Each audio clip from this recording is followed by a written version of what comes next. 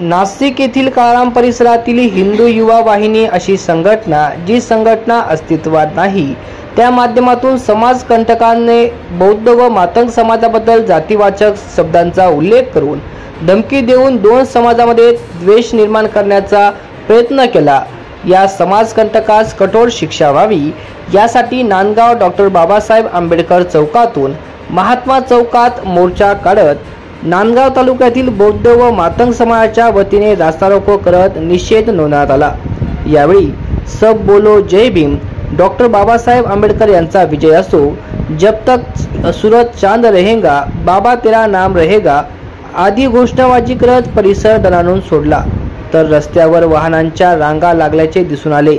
या रस्ता रोखोमध्ये डॉक्टर बाबासाहेब आंबेडकर यांचे महिला आणि पुरुष अनुयायी मोठ्या संख्येने सहभागी झाले होते. यावेळी तहसीलदार सुनील सौंदाने यांना निवेदन देण्यात आले